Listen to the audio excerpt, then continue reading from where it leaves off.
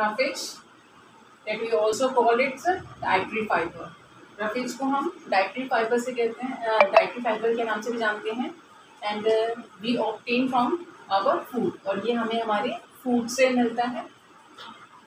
Roughage prevent constipation जो roughage है वो हमारे, जो कॉन्स्टिपेशन की जो हमारी प्रॉब्लम है, उससे भी हमारे बॉडी को प्रिवेंट करता है, उससे बचाता है।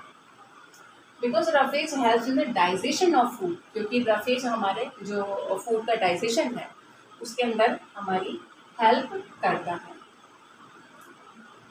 And roughage is also ensure the proper bowel movement जो हमारे uh, जो अनडाइजेस्टेड जो फ़ूड uh, है उसको हमारी बॉडी के अंदर से जो हमारा इंटेस्टाइन के अंदर आगे की तरफ़ जो उसको ढकेला जाता है that is a bowel movement तो उसके अंदर भी जो हमारी बोबल मूवमेंट है वो अच्छी तरीके से और प्रॉपर हो इसके अंदर भी जो रफेज है वो हमारी हेल्प करता है the sources are the uh, grains, pulses, vegetable that is the potato, radish, carrot, and the fresh.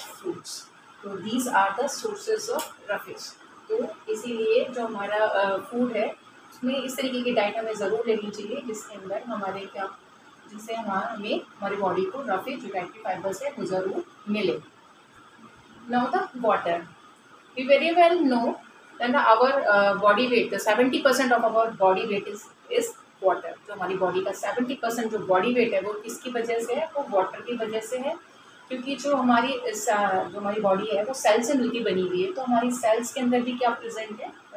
Water water helps our body to absorb nutrients from food जो वाटर है, वो जो हम डिफरेंट टाइप वेराइटी का जो हम food ले रहे हैं तो उससे हमारे उसमें फ़ूड में न्यूट्रिएंट्स जो प्रेजेंट हैं तो उसके एब्जॉर्ब के अंदर भी, उसके जो हमारी बॉडी के अंदर, उस वो न्यूट्रिएंट्स हमारी बॉडी को मिल सके तो उसके एब्जॉर्ब के अंदर भी हेल्प हमारा जो वाटर है, वो करता है।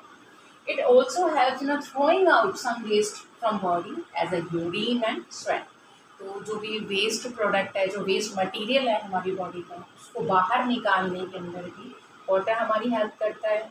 हमारे जो बॉडी का टेम्परेचर है, उसको टेम्परेचर को मेंटेन करने के अंदर भी जो वाटर है, वो हमारी हेल्प करता है।